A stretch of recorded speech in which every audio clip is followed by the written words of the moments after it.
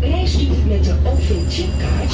Zorg er dan voor dat u heeft ingecheckt. geven u de hel- helpende hand om te zorgen dat u mobiel blijft door het reizen met openbaar vervoer. Ik ben dus Jan Kelder, inmiddels zes jaar OV-ambassadeur. Ik ben eh, Johan Vlierman.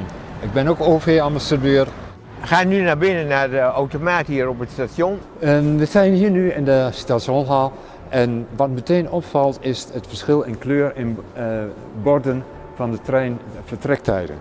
We zien hier de blauwe en we zien gele eh, vertrekstaten. En dat betekent dat de, de blauwe zijn van Blauwnet en de gele van de NS.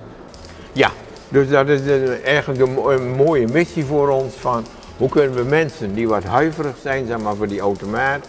Hij doet handelingen die ik niet wil. Nee, we laten nu die handelingen ook verrichten. Dus dat je zelf een kaartje kunt kopen, alle stappen kunt zetten en akkoord eh, geeft. Daarnaast eh, laten we natuurlijk ook even de vertrektijden zien. En hier op die vertrektijden die staan op ieder station. Is duidelijk te zien wanneer de treinen vertrekken. En wat hier ook mooi is, eh, er staat een NS-tekentje voor de treinen van NS. En er staat een B en dat betekent blauwnet.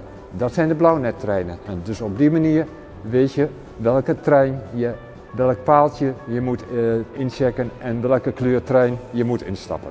Oké, naar de treinen.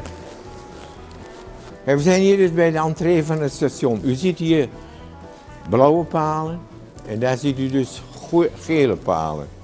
Het is belangrijk dat u even goed oplet dat u incheckt bij de goede paal. Wilt u met blauwnet reizen, moet u bij blauwnet inchecken. Wilt u met NS reizen, moet u dus hier inchecken bij de gele palen van de spoorwegen. U houdt dus uw kaart voor dit vignet. En moet u één piepje horen, u hoort het, één piepje. Dat is een teken dat ik goed ben ingecheckt bij de, in dit geval de spoorwegen. Op een aantal stations zijn er meerdere vervoerders.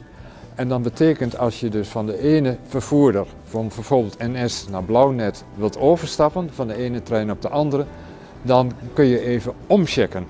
Dat is dus alleen met een OV-chipkaart.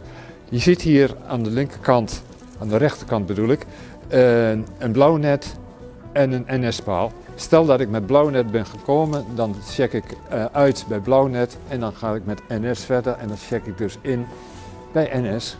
We staan hier dus op het station Almelo bij een informatiepaal. Als u op het station staat en u denkt van blijf de trein nu, dan kunt u hier op die blauwe knop drukken. Dan krijgt u iemand rechtstreeks aan de telefoon en dan kunt u dus vragen van waar blijft mijn trein of hoe lang duurt het nog of is er een storing. Vooral s'avonds als u denkt van ik voel me hier niet prettig, ik heb een beetje een onveilig gevoel.